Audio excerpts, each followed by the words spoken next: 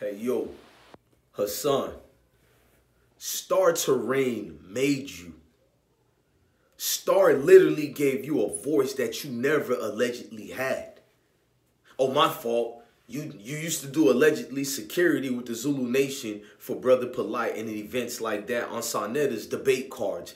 But you keep denying it even though there's actual videos of it. Now, Hassan, when you watching this video, I'm not about to make fun of you being a victim with Afrika Bambaataa. We talk like men behind the scenes. But I still told you behind the scenes, I stand on what I feel and what I say. Besides the jokes and all that. You've never really rebutted to that. And we can have that discussion at a later time. I try to make you, let's do it online in front of the world. It ain't clout chasing. You got all your stands and supporters who have yet to rebuttal what I said out there in the air. I'm not gonna say it now because you're the type of dude. I'll say it at a later date. I most people know why I took the Hassan videos down. It had nothing to do with street pressure or nothing like that. I mean, this dude literally would stop certain dudes from eating allegedly. We're gonna leave it at that. You know what I mean? So I feel like I was the one leading the charge. Me, Wax Dog, Mr. Skinny, the original ones I'm talking about, who was relentless where you got dudes moving with the YouTube team and we'll leave it at that. They talk all this Illuminati, this and that, but you use the same so-called gatekeepers to suppress other people who might be competition. I want to use another word, but the YouTube guidelines forbid it. Now, let's get the Star Torain. Hassan Campbell, you know I got enough information, educational purpose, meaning I know the history with the Bambaataa situation as far as what you put out there and what Ronald Savage put out there. Shout out to Ronald Savage. I got to hit him up. He gave me some exclusive. I don't want to talk about this right now. You know what I mean? And it's not about you too, because you so insecure. You probably think I'm talking about the exclusive. It's gonna be about you. Nah, bro. Like you, people see now which what I've been trying to reveal about you for years now. And people see it now. That's why I don't really need to make videos attacking anybody. So I, I, I agree with you right there. You a victim, right? Now, Star Torain was the only reason I've never really went full throttle with a lot of information I had, with a lot of things I had. Start to Terrain is the OG. Now, I don't want to call him the OG because he's better than that. He's not sending youngsters out here on a crash test dummy missions and and doing themselves up, educational purpose. Star Torain is keeping compactful and, and, and, guiding people, giving advice that actually makes you money, that acts like like like I'm I'm proof that if you follow his formula, you follow his style and not not trying to overdo it, you just be yourself. People will come. That's what I learned from Star Torain. Star Rain was a light in your so-called darkness. And I'm not saying so-called as if you're not a victim, but a lot of the things you say is transgressions amongst actual victims. Not saying you're not a victim, but my nigga, there's certain certain proper decorum you gotta have. I'm not saying all victims are a monolith, but bruh, you do, do kind of make it hard for folks to look at you as a victim. Look at some of your content, my nigga. Just like I look at some of mine, if people come at me a certain way, it comes with the territory. You got to hold and stand firm on it. Not going behind the scenes, running to YouTube, shutting people up. If you say you this man that's of strength whatever, debate them then. And if you don't want to debate them, ignore it, just like you tell others to. But it's contradictions after contradictions. You called Star Torain a, a, a, um, I don't want to keep saying that word because of YouTube monetization. Y'all got to bear with me. I, I'm, I'm trying to grow and change as well. And I think it is true. We don't have to use a lot of, you know what I'm saying, cuss words all the time if we can use our wits. Now with you, bruh, you saying Star Torain is B word and he's all this and that. You showed people your level of loyalty is basically zero. You were basically take a dump on anybody out here, my nigga, that's went out their way to help you. That's big facts. Yo, even people like me, you don't even tell people how me and you fell out. You don't even speak to the people about that. You make it look like some nigga that don't even know you and I'm just making a video, but you know what it was about. Them receipts people put out on you years ago back in 2016. Yay or nay, bruh. Yay or nay. Yeah, yeah, it goes that deep all the way to some 2015-ish, but let's stick to this. I'm doing this video because to see the level of disrespect and distasteful things you had to say about Star, it ain't me playing hero and all that. It's me letting you know a natural light that don't exist in you. Your level of darkness comes out on every single video to the point it's now transparent where everybody can see now. You see through my nigga, in other words, of what I'm saying. You're very visible now to the public. I don't have to continue. You got guys like Wax Dog, Uncle Skinny, who's been relentless. Yeah, they do jokes, but they still release the what? The information. I feel like maybe they shouldn't tease you, maybe, but I fall away from that because all you got to do is engage in the conversation what they're saying and talk about those things, but you don't. You're saying Kevin G- um, Gills forgave you something like that to that extent. I don't care about what two brothers were attacking each other, educational purpose, making peace now. I think it's a wonderful thing. Salute to y'all. I feel like everybody should exhibit that, a level of communication where we can make peace. But you're a hypocrite. You're only using the Kevin Gills analogy to save you from the things that you've told people and you've said. But guess what, Hassan? It can't just be the Kevin Gill situation. You said other things that's uncomfortable that has nothing pertaining to do with Kev Gills nor his uh, kids as well. Blessings to that man and his children. But you, brother, you going on on another whole flock, bruh. It's, it's kind of brazy. You still talking about Kwame Illuminati. Fall back. People have the right to look at you as Tell because once again, Star Torain gave you light. You wouldn't even be eating on YouTube if it wasn't for Star Torain, bro. Let's just get that out the way. You wouldn't be eating on YouTube right now. That's super facts. You're only eating because the folks in them like entertainment. You're somewhat of a walking typical stereotype at this point, bruh. You seen me making no jokes, not one joke yet. Tell the people that I'm doing this and that to you. They won't find it. All the recent videos I've done on subjects pertaining to you and others is following the YouTube guidelines, and I'm sticking to the actual things that made me so-called quote-unquote lit. That's what you talk about behind the scenes, right? But we ain't gonna go deep into that. We just gonna say, look at yourself. You still doing it live right now while I'm making this video. I heard you uttered out. We lit right now. But your views always been lit. I told you, you're a stereotype. Something that the people fell in love with and it had nothing to do with you being a victim. Am I wrong or right? That's the first thing what we thought, but then it grew to something else and you ran with it. Kudos to another black man making money, but you taking everybody down with you. You talking about Kwame gotta be the Illuminati because he's every video he's attacking people and uh, YouTube guidelines. We're following the rules. I'm explaining something because we know the people that follow you who say they're black this and black that. They take black content creators down. We don't even have to get into that. We know what Hassan Campbell supporters do. They don't listen to the full spectrums of both sides. They just deride the whole tip. And then you got to question educational purpose. Do you spit or do you swallow to them? Because you don't know what type of rebuttals to give somebody that engage in conflicts and just full throttle attacks without having a conversation or a proper dialogue. That's big facts, no cap.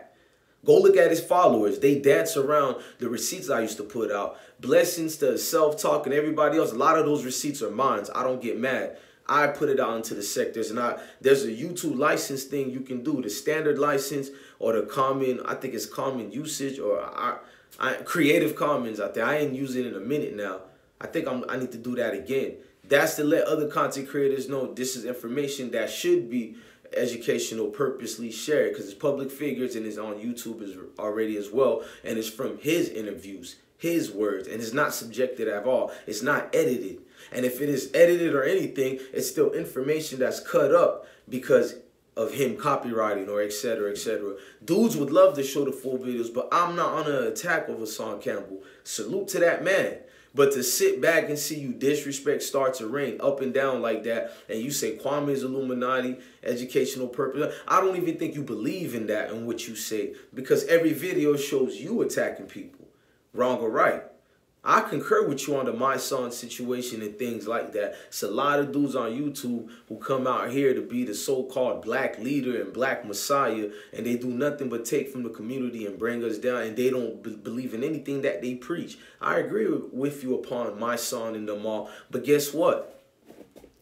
You're the same like Mysonne. You called yourself the leader. You called yourself X, Y, and Z. You called yourself the celebrity. You, sir. Wouldn't that equate you to Mysonne and everybody else you talk about and the allegations you say upon Kwame Brown? Wouldn't that make you the very... I mean, like, if, if take a look in the mirror was a real life person, my nigga, it would be you, bruh. Like, literally. If take a look in the mirror was alive and well. It'll be on YouTube and known as Mr. Hassan Campbell, bruh. Like, this is wild, my nigga. To disrespect the man that made you. I've never went in on you. Pause.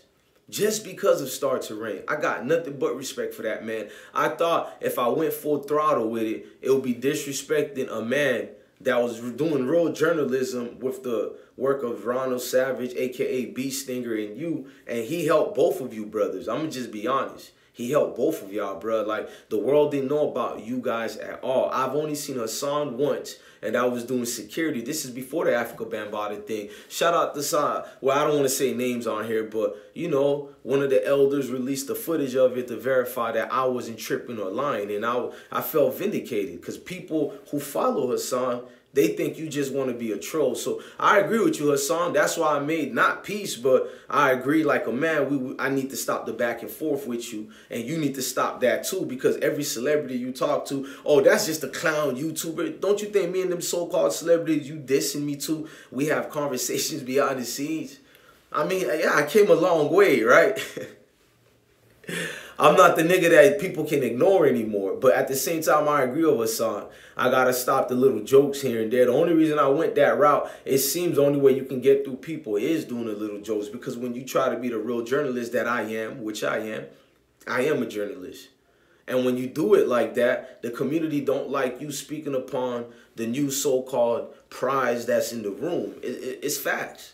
So there's a reason why I flock to people like Kwame Brown. He's not the new prize in the room. He's been out here for years and he's been quiet in a respectful manner. And now the voice of a lion has been awakened. And like they said, man, when in the jungle, do as the lions do. when in the jungle, do as the lions do. You know what I mean? And that is a lion, a ferocious one. A ferocious one. And I've I've seen you battles with many people I feel like I'm the only one educational purpose who disrupted the wave of you, brother. I disrupted your wave. I ain't seen nobody hit home runs like that when I left out the game. I didn't strike out. I retired, bro. I did a Cal Ripken. You know, I was an Iron Man, never missed a game. And one day I just said, I got to go. And all my good bros and them picked it up. The Uncle Skinnies, the Wax Dogs, you know what I mean? They kept it going. But I'm not to do the jokes because I'm in the Hall of Fame now. And now there's that new competitor, and he's hitting home runs out the gate. He didn't even go to the minor leagues. He came straight from high school, and his name is Kwame Brown. Yeah, that competitor is very different. Yeah, like like that's a lion that knows when to exude his strength and exhibit that. I, I ain't gonna do a raw right now, but you get what I mean. No jokes. I'm being all serious. I gave you respect, Hassan, even now in this video. But you're so I can't even say that word because people will intake it and take it in a different manner. So let's follow the guidelines and just say you're going to exhibit the same thing you're exhibiting on every one of your videos. I guess y'all would have to watch them to know what I'm talking about. I'm not going to explain.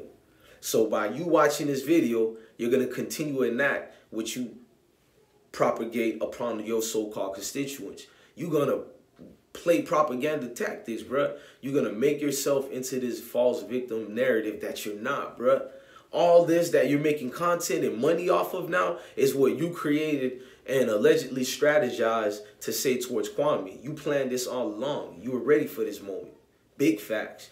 Not only were you ready for this moment, I know thoroughly and surely you looked at every aspects of this and you knew no matter if the dislikes or not, because we're both content creators. I was one before you and you know this.